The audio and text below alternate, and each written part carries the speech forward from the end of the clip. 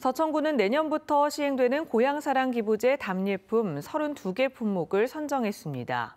선정된 품목은 설해야 쌀, 소곡주, 모시떡, 김, 지역화폐 상품권 등이며 구는 선정 답례품 공급업체를 공모 방식으로 선정할 계획으로 오는 19일부터 나흘간 참여업체, 참여업체 신청을 받습니다.